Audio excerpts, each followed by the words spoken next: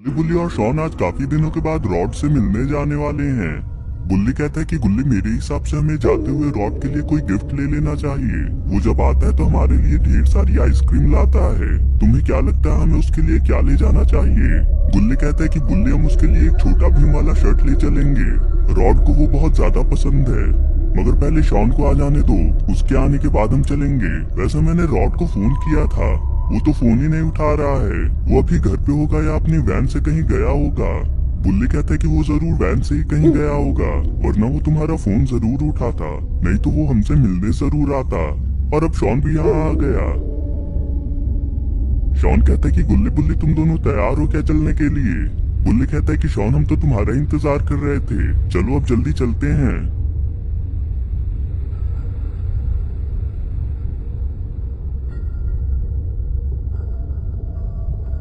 ये लोग रॉड के घर के लिए जा ही रहे होते हैं, तभी इनको रास्ते में रॉड दिखाई दे जाता है। मगर ये रॉड तो किसी को मार रहा है। गुल्ली कहता है कि बुल्ली और शॉन, ये रॉड है ना? आखिर ये मारपीट क्यों करने लगा? और इसकी वैन की ऐसी हालत किसने कर दी? बुल्ली कहता है कि रुको, मैं इससे बात करने की कोशिश करता हूँ।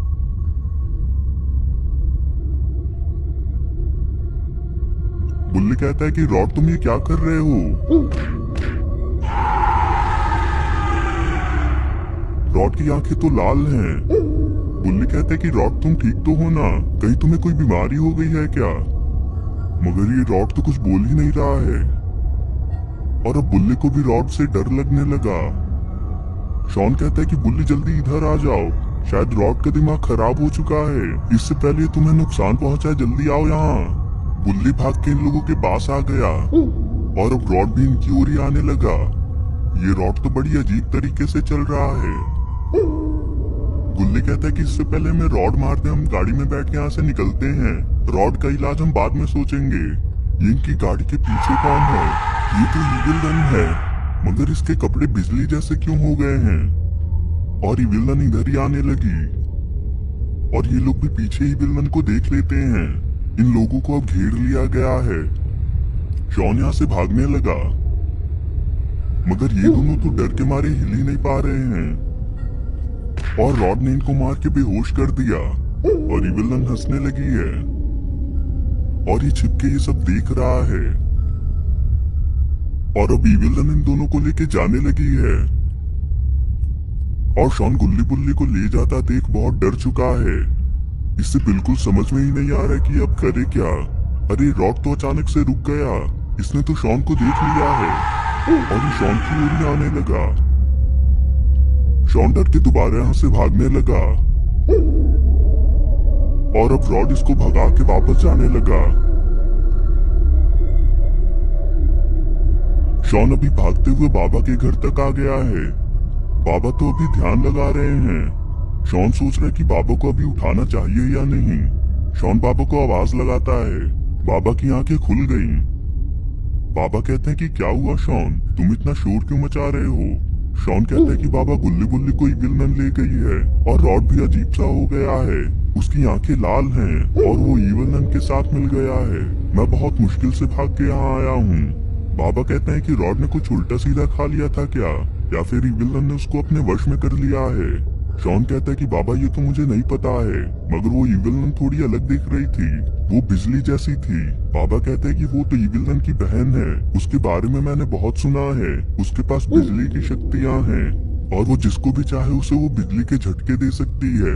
मगर उसको तो काफ़ी पहले ही कैद कर दिया गया था, उसको आज़ाद किसने कर दिया? शॉन कहता है कि ये तो मुझे भी नहीं पता है बाबा, मगर हमें गुल्ली बुल्ली को बचाना है, इसलिए आप जल्दी मेरे साथ चलो। ये दोनों गुल्ली बुल्ली की ओर जाने लगे। शॉन कहता है कि बाबा, अगर बिजली वाली विलन इतनी ज़्यादा ताकतवर है तो आप उसे हरा पाओगे क्या? बाबा कहते हैं कि पता नहीं शॉन, आज से पहले कभी मेरा उससे सामना नहीं हुआ है। मगर तुम डरो मत, मैं गुल्ली बुल्ली को कैसे भी करके बचा ही लूँगा। बिजली वाली विलन ने तो गुल्ली बुल्ली को बाँध के रखा है, और ये इन दोनों को ही घूरे जा रही है। अरे तो विलन की यहाँ पे है।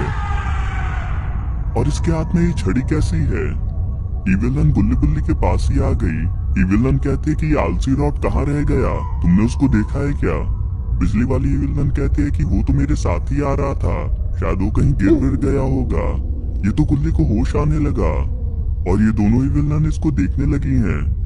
गुल्ली इन दोनों को देख के कहता है कि तुमने हमें यहाँ बाँध के क्यों रखा है? और यहाँ पे दो ही विलन कैसे हैं? इवलन कहती है कि आखिर तुम्हें होश आ ही गया। मगर अब तो तुम्हें खुद को मरते हुए देखना पड़ेगा। इवलन इससे कहती कि तुम जरा जाके देखो कि रॉड ने अब तक चाकू क्यों नहीं लाया। और वो दिखे तो उसे वही मार देना। अब मुझे उसकी ज़रूरत नहीं है। और हाँ उसे चाकू लाना मत भूलना। बहुत समय बाद इन दोनों से बदला लेने का मौका मिला है मुझे। और ये बिजली वाली विलन रॉड को ढूँढने जाने लगी। जॉन बाबा के साथ इसी रूट पे आ गया है। और ये लोग काफ़ी देर से गुल्ली बुल्ली को ढूंढते हुए बढ़ रहे हैं, मगर इन्हें गुल्ली बुल्ली दिखाई ही नहीं दे रहे हैं। शॉन कहता है कि, बाबा, मैं इतनी देर से चल चल के थक चुका हूँ, मेरी पूरी हालत ही खराब हो गई है, मगर ये गुल्ली बुल्ली तो बिल्कुल भी दिखाई नहीं दे रहे हैं। बाबा कहते हैं कि, ठीक है शॉन, मैं मदद बुलाता हूँ। बाबा ने आँखें बंद कर ली और लगता है कि ये ध्यान लगा रहे हैं। अरे, ये क्या आ रहा है? ये तो बाबा का घोड़ा बादल है।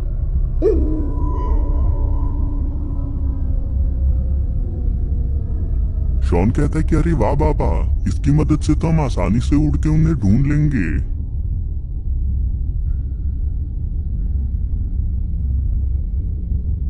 और इधर रॉड का तो सिर चकराने लगा है। लगता है कि ये इविल रन के कब्जे से बाहर आने की कोशिश कर रहा है। मगर अब तो यहाँ पे इविल रन भी आ गई।